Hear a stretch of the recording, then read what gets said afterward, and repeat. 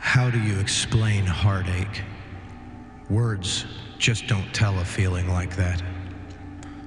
My soul hurts. I bleed in ways that can't be seen.